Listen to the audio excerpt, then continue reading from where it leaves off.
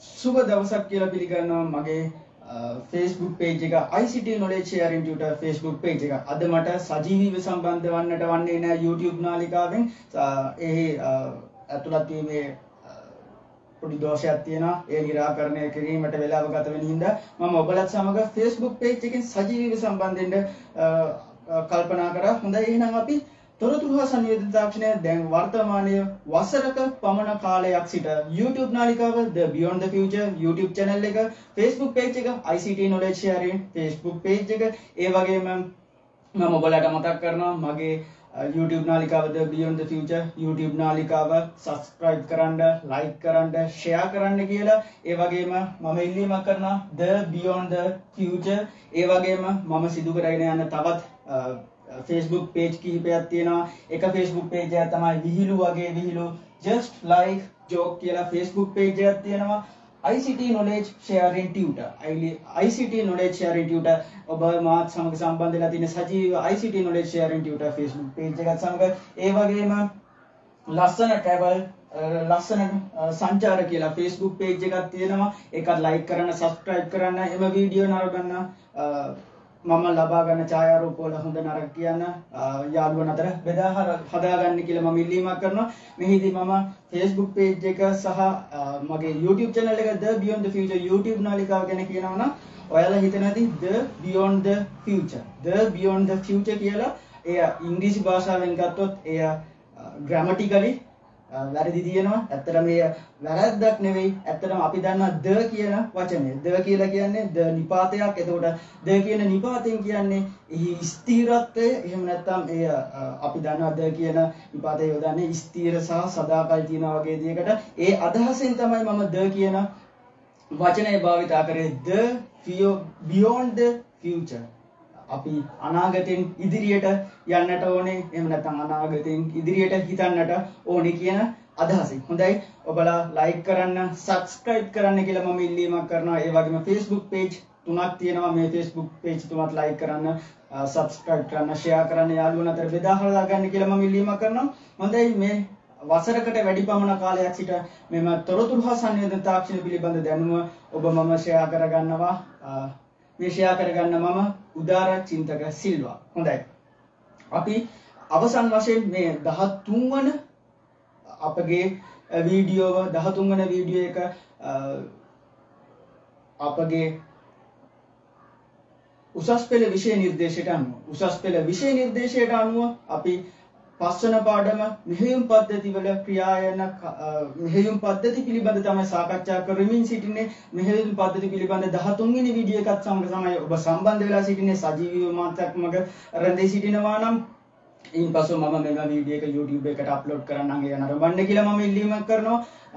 ඒ වගේම මේ වීඩියෝ එකෙන් අපි ඉදිරියේදී සාකච්ඡා කර නු ලැබුවා වීඩියෝ 13කින් ඔපරේටින් සිස්ටම් පිළිබඳ. එම වීඩියෝ 13ක් නරඹන්න කියලා මම ඉල්ලනවා. ඒ වගේම මීට පෙර මම වීඩියෝ රාශියකින් අපි උසස් පෙළ විෂය නිර්දේශය පිළිබඳ විෂය නිර්දේශයට අනුව බොහෝ වීඩියෝ මගින් ඔබලාව දැනුවත් කරලා තියෙනවා. අධ්‍යාපනය ලබා දීලා තියෙනවා. ඒවත් නරඹන්න කියලා මම ඉල්ලීමක් කරනවා. හොඳයි. එහෙනම් අපි අද පාඩමට සම්බන්ධ වෙමු. අද පාඩමෙන් අපි මෙහෙයුම් පද්ධතියක දත්ත කළමනාකරණය එහෙම නැත්නම් දත්ත කළමනාකරණය කියන එක ෆයිල් සිස්ටම් මැනේජ්මන්ට් කියන මාතෘකාව යටතේ තමයි සාකච්ඡා කරනු ලබන්නේ. ෆයිල් සිස්ටම් මැනේජ්මන්ට් මීට පෙර වීඩියෝ එකෙන් අපි ඒ මූලික ආරම්භය ලබා ගත්තා.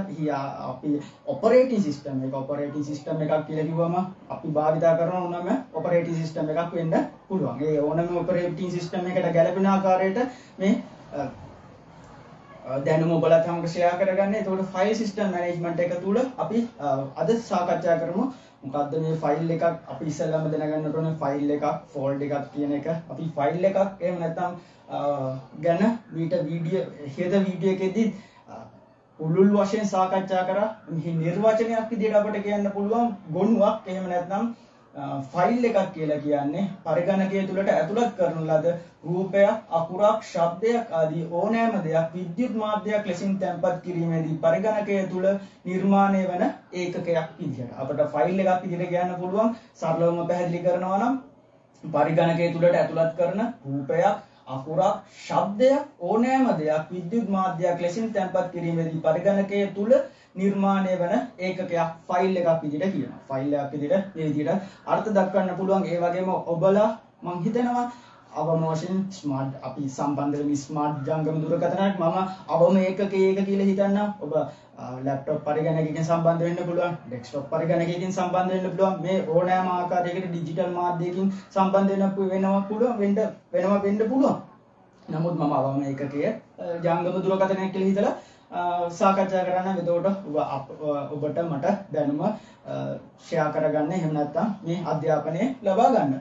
අපි ෆයිල් එකක් කියලා කියන්නේ එතකොට අපි ලබා ගන්න ඡායාරූපයක් වෙන්න පුළුවන්. ඒ වගේම අපි නිර්මාණය කරන ඩොකියුමන්ට් එකක් අපි ලියුමක් නිර්මාණය කරනවා. මේ වගේ අපි සරලම උදාහරණ ලියුමක් නිර්මාණය කරනවා කියන්නේ ඊට වඩා අපි උසස් පෙළ තොරතුරු හා සංවේදන තාක්ෂණ පිළිබඳ හැදෑරීමේදී ඊට වඩා දේවල් තියෙනවා. අපි ආවම වශයෙන් හිතමු ලියුමක් සකස් කරනවා. ඒ වගේම අපි ඡායාරූපයක් ලබා ගන්නවා. ඒ වගේම අපි වොයිස් එකක්. දැන් මේ අවස්ථාවේදී මම සජීවීව ඔබත් සමග සම්බන්ධ වෙලා සිටින්නේ වීඩියෝ ආකාරයෙන්. නමුත් අපිට වොයිස් එකක් විදිහට සම්බන්ධ වෙන්න පුළුවන්. ශබ්දයක් මගේ. මේ වගේ ඕනෑම ආකාරයක ගුණයක්. මේ අපට ශ්‍රව්‍ය දෘශ්‍ය ආකාරයට නරඹන්න පුළුවන් ක්‍රියා කරන්න පුළුවන් ෆයිල් එකක්. නමුත් ඔපරේටින් සිස්ටම් එකක් තුල තොරතුරු හා සංවේදන තාක්ෂණය තුල ෆයිල් එකක් කියලා කියන්නේ ඩිජිටල් ආකාරයට තිබෙන ඕනෑම දත්තයක්. අපි මේ පැහැදිලි කිරීමේදී අපට පැහැදිලි කරන්න ඕනේ විද්‍යුත් මාධ්‍යයක් එහෙම නැත්නම් ඩිජිටල් ආකාරයට පරිවර්තනය වුණ ඕනෑම ගුණයක් ෆයිල් එකක් විදිහට සඳහන් කරන්න පුළුවන්. දැන් සමහරවිට ඔයාලා ඔපරේටින් සිස්ටම් එකක ගිහිලා බලන්න Windows වගේ ඔපරේටින් සිස්ටම් එකක නම් සිස්ටම් ෆයිල් වලට යන්න සිස්ටම් ෆයිල් වලට ගිහිලා සිස්ටම් ෆයිල් එකක් තුල තියෙන ෆයිල් බලන්න. දැන් ඒවා බලලා අපට වැඩක් කරගන්න පුළුවන්ද? ඒ වගේ අපිට වැඩක් කරන්න බෑ. හැබැයි ෆයිල් එකක් විදිහට තියෙනවා. එහෙම නැත්නම් අපි ඇප්ලිකේෂන් අපි අපි ඉන්ස්ටෝල් කරලා තියෙන software එකක් කියලා හිතන්න. ඉන්ස්ටෝල් කරලා තියෙන software එක ෆෝල්ඩ ඇතුලේ ෆෝල්ඩ ඇතුලේ ෆෝල්ඩ ඇතුලේ ෆෝල්ඩ ඇතුලේ වලට යනවා. ඒ වගේ ෆයිල් තියෙනවා. DLL ෆයිල් කියලා හරි exe ෆයිල් එකක් හරි මේ විදිහට ෆයිල් තියෙනවා. හැබැයි මේ වගේ ඔයාලට වැඩක් කරන්න බෑ. හැබැයි මේවා නැතුව පරිගණකයේ ඇප්ලිකේෂන් එකක්, කම්පියුටර් එකක්, ඔපරේටින් සිස්ටම් එකක් වැඩ කරනවද? වැඩ කරන්නේ නැහැ. හැබැයි මේ සියල්ලම ෆයිල් එකක් විදිහට තමයි තියෙන්නේ. මේ දේවල් පිළිබඳව අපි ඉදිරියට තව සාකච්ඡා කරමු. ඒ වගේම අපි ෆෝල්ඩ් එකක් විදිහට සඳහන් කරොත් ෆෝල්ඩ් එකක් විදිහට අපිට කියන්න පුළුවන් පරිගණකයට කියවීමට හැකි ලෙස පරිවර්තනය වී ඇති ගොනු ජීමය ආකෘතිය ගොනුවක් ලෙස අපි ෆෝල්ඩ් එකක් විදිහට අපි හඳුන්වමු ගොනු සමූහයක් අඩංගු කර ඇති ඒකකයකි. ගොනුවක් ඒ කියන්නේ ෆෝල්ඩ් එකක් ඩිරෙක්ටරි එකක් කියලා කියන්නේ ගොනු සමූහයක් අඩංගු කර ඇති ඒකකයක්. එහෙම නැත්නම් අපි ෆෝල්ඩ් එකක් විදිහට අපිට කියන්න පුළුවන් ස්ටෝරේජ් ස්පේස් එකක කන්ටේන එකක් විදිහට එහෙම නැත්නම් ඇතුළත් කරලා තියෙන දේවල් ෆයිල් රාශියක් ඇතුළත් කරලා තියන්න පුළුවන් දෙයක් අපිට ෆෝල්ඩ් එකක් විදිහට කන්ටේනර් එකක් කන්ටේනර් එකක් විදිහට එහෙම නැත්නම් එය බහලුමක් විදිහට අපි එකතු කරලා තියාගන්න දෙයක් ෆෝල්ඩ් එකක් විදිහට අපි හඳුන්වනවා. එතකොට ෆයිල් රාශියකින් තමයි ෆෝල්ඩ් එක. ෆයිල් රාශියක් තියෙනවා. එය එක් ගුණයක් ඇතුළට දාලා තියෙනවා. මේක තමයි ෆෝල්ඩ් එකක් විදිහට කියන්නේ. ඒ වගේම දීමේ ආකෘති ගුණ. ඒ වගේම බයිනරි ෆෝමැටඩ් බයිනරි ෆෝමට් මෙතන පරිගණකය තුල ගැන කතා කිරීමේදී අපිට බයිනරි ආකාරයට තමයි අපි මීට පෙර වීඩියෝ එකේදීත් අපි සාකච්ඡා කරන අද වීඩියෝ එකේදීත් අපි සාකච්ඡා කරනවා මේ පිළිබඳ ෆයිල් ෆෝල්ඩර්ස් පිළිබඳ. ඒ වගේම හිදි කියන්නේ බයිනරි ෆෝමැට් බයිනරි ෆෝමැට් කියලා කියන්නේ පරිගණකයට කියවීමට හැකි ආකාරයට. මේක තමයි වැදගත්ම පරිවර්තනය වෙන්නේ. පරිගණකයට කියවීමට හැකි ආකාරයට. මේ පරිගණකයට කියවීමට හැකි ආකාරයට කිව්වම මම මුලින්ම කිව්වා වගේ අපි මිනිසුන් විදිහට එහෙම නැත්නම් අපි භාවිතා කරන ලයිව් එකක් ලයිව් එකක් විදිහට අපිට ලයිව් එකක් විදිහට අපිට බලන්න පුළුවන්. පින්තූරයක් බලන්න පුළුවන් වීඩියෝ එකක් බලන්න පුළුවන් ශබ්දයක් අහන්න පුළුවන් ඩොකියුමන්ට් එකකට ෆයිල් ටයිප් කරන්න පුළුවන්. මේ දේවල් වුණාට පරිගණකයේ කියවනවා කියලා කියන්නේ ඔබලා මම දන්නවා ඔබලා මම නැවතත් ඉල්ලීමක් කරනවා මගේ පෙර වීඩියෝ නරඹන්න කියලා. අතොරතුරු හසන් තාක්ෂණයේ උසස් පෙළ විෂය නිර්දේශයට අදාළව නිර්මාණය කරලා තියෙන වීඩියෝ නරඹන්න. එම වීඩියෝ නැරඹීමේදී ඔබලාට තවත් පැහැදිලි වෙයි මේ කියන්නේ කතාව මොකක්ද කියලා මම මේ සරලව කිටි කරලා පැහැදිලි කරලා කියන්නම්. අපි දන්නවා පරිගණකයක ඔපරේට් ඔපරේටින් සිස්ටම් ගැන සාකච්ඡා කරාට මේ ඔපරේටින් සිස්ටම් තුල ප්‍රොසෙසර් එහෙම නැත්නම් අපි දෘඩාංග තමයි ක්‍රියාත්මක වෙන්නේ. දෘඩාංග තුල අපි ප්‍රධාන වශයෙන්ම අපිට කියන්න පුළුවන් පරිගණකයක ක්‍රියා කරන ප්‍රොසෙස එක රැම් එක හාඩ් ඩිස්ක් එක මෙන්න මේ තුන ප්‍රධානයි. එතකොට මදර් බෝඩ් එකත් සමග මේ සම්බන්ධ වෙලා තියෙනවා. ඒ වගේම පර්පස් ඩිවයිස් තියෙනවා. අපි සම්බන්ධ කරලා තියෙන මවුස් කීබෝඩ් තියෙනවා. මෙන්න මේ සම්බන්ධ වෙලා ක්‍රියා කරනවා. පරිගණකයට කියවීමට හැකි කියන්නේ ඔපරේටින් සිස්ටම් එක ක්‍රියාත්මක වුණාට මම මුලින්ම කිව්වා වගේ අපි නිදාගෙන හිටියට අපේ අපි නිදාගෙන ඉන්නවා නම් අපේ ශරීරයේ ක්‍රියාකාරීත්වය සිදු වෙනවා. හැබැයි අපගේ මොකක් හරි ක්‍රියාකාරකමක් වෙනවා. ක්‍රියාකාරකමක් වෙන්නේ නැහැ. ශරීරයේ ඇතුලේ දේවල් ටික සිදු වෙනවා. මේ වගේ තමයි ඔපරේටිං සිස්ටම් එක. පරිගණකේ ක්‍රියාත්මක වුණා. ඔන්නුනාට පස්සේ පරිගණකය වැඩ කරනවා. අපි ඒකේ සින්දුවක් දැම්ම නැත්නම් පරිගණකය වැඩ කරන්නේ නැහැ. අපි ඩොකියුමන්ට් එකක් ටයිප් කරන්නේ නැත්නම් පරිගණකේ ක්‍රියාකාරීත්වයක් නැහැ. අපි ඇහැරුණාට පස්සේ කරන දේ තමයි පේන්නේ. මෙන්න ඒ වගේ පරිගණකයට කියවිය හැකි. ඒ කියන්නේ ප්‍රොසෙසරය තුල ක්‍රියාත්මක වෙන RAM එක තුල ගබඩා වෙන hard disk එක තුල ගබඩා වෙන මේ ඕනෑම එකක් ඩිජිටල් ආකාරයට පරිවර්තනය වෙලා තියෙනවා නම් එහෙම නැත්නම් පරිගණකයට කියවීමට හැකි ලෙස පරිවර්තනය වී ඇති ගොනු දීමේ ආකෘතිය ගොනු ලෙස හැඳින්වෙනවා. එතකොට බයිනරි ආකාරයට පරිවර්තනය වෙලා තමයි මේ ගොනු ක්‍රියාත්මක වෙන්නේ. ඔබ දන්නවා ඇනලොග් සහ ඩිජිටල් කියලා ප්‍රධාන ආකාර දෙකක් තියෙනවා. මේ ඇනලොග් සිග්නල් එකක් ඩිජිටල් සිග්නල් එකක් පරිගණකයට කියවන්න පුළුවන් ඩිජිටල් සිග්නල් එකක් විතරයි. එතකොට ගොනුවක් ඩිජිටල් සිග්නල් එකක් බවට පරිවර්තනය විය යුතුයි. දැන් උදාහරණයක් විදිහට මම මගේ වොයිස් එක මේ අවස්ථාවේදී මම කතා කරන්න තියෙන්නේ මොනවද? ශබ්ද තරංගයක් කියන්නේ ශබ්ද තරංගයක් තුල මයික් එකකින් රෙකෝඩ් වෙනවා. මයික් එකේ තියෙන්නේ ඇනලොග් ආකාරයට ක්‍රියාත්මක වීම. නමුත් ඒ පරිගණකයේ ප්‍රොසෙසරයට කියවන්න පුළුවන් වෙන විදියට. පරිගණකයේ ප්‍රොසෙසරයට කියවන්න පුළුවන් විදියට. RAM එකට කියවන්න පුළුවන් විදියට. එතකොට ඒ දත්ත බස් අතර බස් විදියට එහෙම නැත්නම් data බස් වෙලා බස් එකක් විදිහට ක්‍රියාත්මක වීම. ඒ වගේම අන්තර්ජාලය තුලට ගමන් කරන. දැන් සජීවීව මම සම්බන්ධ වෙලා සිටිනවා නම් ඔබයි මම සජීවීව සම්බන්ධ වෙලා තියෙනවා. ඇත්තටම මේකත් යන්නේ ගුණයක් විදිහට. data packets වලට. data packets කියලා කියන්නේ digital පරිවර්තනයක්. digital පරිවර්තනයක් ඒ කියන්නේ අපි මෙහෙයුම් පද්ධති තුල මෙහෙයුම් පද්ධතිය තුළ ජාලකරණය ගැන කතා කරා මෙහිදී අපි දන්නවා මම මේ විදිහට ශබ්දය සහ රූපය ඔයගලාට එක ෆ්‍රේම් එකෙන් ෆ්‍රේම් එකට එන්නේ එක තප්පරයෙන් තප්පරයට මාව පේන්නේ මේ ඩිජිටල් ආකාරයට එහෙම නැත්නම් බිට් පැකට් එකක් බවට පරිවර්තනය කරලා ඔබ ගාවට එන්නේ. ඒ වගේම තමයි ගුණු. ගුණුවක් කියලා කියන්නේ පරිගණකයේ හෝ ඕනෑම පරිගණකමේ උපාංගයක් ස්මාර්ට්ෆෝන් එකකින් ඉඳලා අපේ සර්වර් එකක් මේන් ෆ්‍රේම් කම්පියුටර් එකක් වෙනකම් මේ ඩිජිටල් ආකාරයට පරිවර්තනය වෙන්න ඕනේ. එතකොට තමයි මේ ගොනුවක් බවට පරිවර්තනය වෙන්නේ. දැන් ඔයාලට ෆයිල් එකක් ෆෝල්ඩ් එකක් කියන දේ අපි සාමාන්‍යයෙන් බලන විෂන් එකට වඩා එහෙම නැත්නම් අපි සාමාන්‍යයෙන් දැන් ඔයගොල්ලෝ දන්නවා ෆොටෝ එකක් දැකගම මේ ෆොටෝ එකක් කියලා ඔයාලට හිතෙනවා. නමුත් මේ ෆොටෝ එක කියන්නේ ඇත්තටම මේ ෆොටෝ එක පරිගණකයේ තුල තියෙන්නේ මේ විදිහට රූපමයක් රූපයක් විදිහට නෑ. රූපයක් විදිහට නෙවෙයි තියෙන්නේ මේ ඩිජිටල් ආකාරයට පරිවර්තනය වෙලා ඩිජිටල් ෆෝමැටඩ් ඩිජිටල් ෆෝමැටඩ් එකක් විදිහට තමයි ක්‍රියාත්මක වෙන්නේ. මෙන්න මේ පිළිබඳව ඔයාලා අවබෝධයක් ලබා ගන්න. මේක තමයි ඕනෑම ෆයිල් එකක් ගුණයක් කිව්වම මේ ඩිජිටල් බවට පරිවර්තනය වෙලා බිඳුව එක බවට පරිවර්තනය වෙලා ඒ ක්‍රමානුකූලව ක්‍රමානුකූලව ක්‍රමානුකූලව මිනිසෙකුට කියගන්න හැකි ආකාරයට පේන විදිහට පරිවර්තනය වෙලා තියෙනවා. මම උදාහරණයක් විදිහට කිව්වා. ඔයාලා සරලම උදාහරණයක් විදිහට try කරලා බලන්න ෆොටෝ එකක් අරගෙන නෝට්පෑඩ් එකකට ඩ්‍රැග් කරලා බලන්න. එතකොට මොකද වෙන්නේ? නෝට්පෑඩ් එකේ නෝට්පෑඩ් එකෙන් අපිට ෆොටෝස් බලන්න බෑනේ. එතකොට මෙය කේතක බවට කැඩෙනවා, වෙන් වෙනවා, කොටස් වෙනවා. මෙන්න මේ විදිහට බලා ගන්න සරලම ඔයාලට ඩිජිටල් ෆෝමැට් එකක් එහෙම නැත්නම් කොහොමද ෆොටෝ එකක් හරි මේ වගේ දෙයක් පරිවර්තනය වෙන්නේ කියලා. ඊට වඩා අපිට තියෙනවා සොෆ්ට්වෙයාර්ස් අපිට ඉන්ටර්නෙට් අන්තර්ජාලයෙන් ගන්න පුළුවන් අපි උදාහරණයක් විදිහට කිව්වොත් සොෆ්ට්වෙයාර්ස් තියෙනවා මේ මේ විදිහට පරිවර්තනය කරගන්නට පුළුවන් වෙන ආකාරයට හොයලා බලන්න data editor softwares කියලා තියෙනවා data editor software එකකින් අපිට data editor එකකින් අපි ලබා ගත්තොත් මේ ඕනම digital ෆයිල් එකක් අපිට digital ආකාරයට පරිවර්තනය වීම බලා ගන්නට පුළුවන්. ඔයාලා ඉන්ටර්නෙට් එකෙන් හරි ලබා ගන්න data editor softwares තියෙනවා. මේ data editor softwares වල අපිට මේ පරිවර්තනය බලා ගන්න පුළුවන්.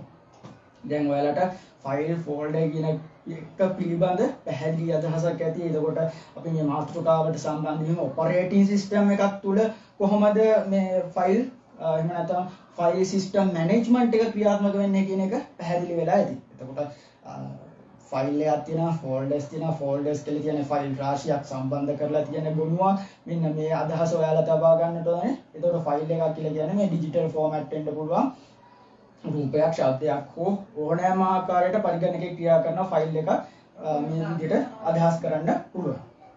දැන් ඔයාලට ෆයිල් එක ෆෝල්ඩ් එකක් පිළිබඳ අදහසක් තියෙනවා. අපි එතන ඉදිරියට යන්න ඕන. මොකද උසස් පෙළ තොරතුරු හා සංවේදන තාක්ෂණ පිළිබඳ හැදෑරීමේදී අපට බොහෝ කරුණ අධ්‍යයනය කරන්න තියෙනවා. මම නැවත ඉල්ලීමක් කරනවා මගේ මීට පෙර වීඩියෝ එක The Beyond the Future YouTube නාලිකාවේ තියෙනවා. The Beyond the Future YouTube නාලිකාවේ මේ ඇතුළත් මම අප්ලෝඩ් කරලා තියෙනවා. එයත් නරඹන්න කියලා මම ඉල්ලීමක් කරනවා. ඒ වීඩියෝ නැරඹුවොත් ඔයාලට පැහැදිලි අද පාඩමට පැමිණීමේදී පැහැදිලි අවබෝධයක් ලබා ගන්න පුළුවන්. ඒ වගේම මම නැවත ඉල්ලීමක් කරනවා ලයික් එකක් දාන්න කමෙන්ට් එකක් දාන්න ෂෙයා කරන්න සබ්ස්ක්‍රයිබ් කරන්න කියලා මම ඉල්ලීමක් කරනවා the beyond the future YouTube නාලිකාවේ ඒ වගේම Facebook page එක ICT knowledge sharing tutor Facebook page එක. අපි දැන් ෆයිල් සිස්ටම් එක පිළිබඳ සාකච්ඡා කරමු.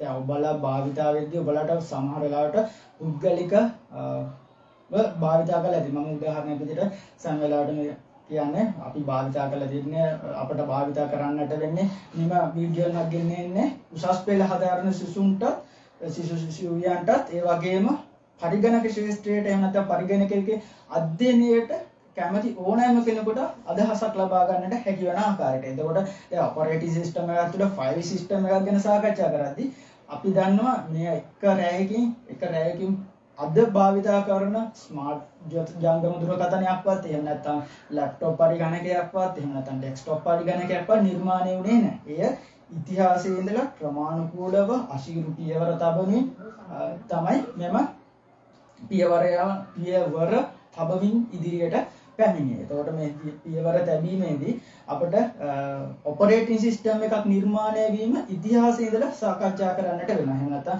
අපි ප්‍රධාන වශයෙන් භාවිත කරන පුද්ගලික පරිගණකවල ඔපරේටින් සිස්ටම් ඇසුරින් තමයි අපට මෙය පැහැදිලි කරගන්න වෙන්නේ. ඒ කියන්නේ පුද්ගලික පරිගණකවල සහ ඒ බොහෝ භාවිතා වන එහෙම නැත්නම් ලෝකේ වැඩිපුරම භාවිතා වන ඔපරේටිං සිස්ටම් වල භාවිතය තමයි අපිට සාකච්ඡා කරන්න යන්නේ. එතකොට මේ ඉතිහාසයේ ඉඳලා ක්‍රමානුකූලව තමයි වර්ධනය වෙන්නේ. ඒකට අපි බොහෝ විට පුද්ගලික පරිගණකවල ඇසුරේ නිර්මාණය වෙලා තියෙන ඔපරේටිං සිස්ටම් එක සහ ඒ නිර්මාණය පිළිබඳව තමයි සාකච්ඡා කරන්නේ. නමුත් ඔබලා මතක තබා ගත යුතුයි ඔපරේටිං සිස්ටම් එකක් කිව්වම ජංගම දුරකථනයක්වත් අපි භාවිත කරන ලැප්ටොප් එක, ඩෙස්ක්ටොප් පරිගණකය පමණක් නොවේ අපට තියෙනවා මේන්ෆ්‍රේම් කම්පියුටර්ස් එතකොට සුපර් කම්පියුටර්ස් මේ වගේ වර්ක් ස්ටේෂන් මෙන්න මේ වගේ හරිගණක උපාංග රාශියක් තියෙනවා. මේ වගේ ක්‍රියාත්මක වෙන ඔපරේටිං සිස්ටම් තියෙනවා. ඒවා විශේෂිත අවම වශයෙන් අපි භාවිතා වෙනවා නම්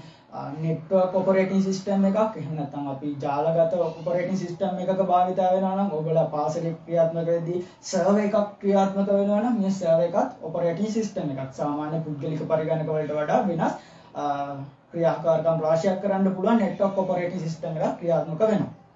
අපි සාකච්ඡා කරගෙන යෑමේදී ෆයිල් සිස්ටම් එක සාකච්ඡා කිරීමේදී අපට අතීතයේ ඉඳලා අද දක්වා ක්‍රියාත්මක වීම සාකච්ඡා කරන්නට වෙනවා. ජීවුන වීමත් සමග තමයි මේ ඔපරේටින් සිස්ටම් අද තත්ත්වයට පරිවර්තනය වුණේ. දැන් හොඳයි. අපි මම ඉල්ලීමක් කරනවා මාත් එක්කම රැඳී සිටින්න. පළවෙනි කොටසෙන් ඔබලාට මේ ෆයිල් ෆෝල්ඩර්ස් කියන එක පැහැදිලි වෙන්නට ඇති අපි මින් ඉදිරියට සාකච්ඡා කරමු. කෙටි විවේකයක් විරාමයක් ලබාගෙන මම නැවතත් ඉල්ලීමක් කරනවා මගේ YouTube channel එක The Beyond the Future YouTube නාලිකාවත් මගේ Facebook page like කරන්න share කරන්න මිතුරන් අතර බෙදා හදා ගන්න කියලා. එහෙනම් කෙටි විරාමයක් විනාඩි 5ක පමණ සජීවීව සම්බන්ධ වෙලා සිටිනවා විනාඩි 5ක පමණ විවේකයක් ලබාගෙන නැවතත් සම්බන්ධ වෙමු.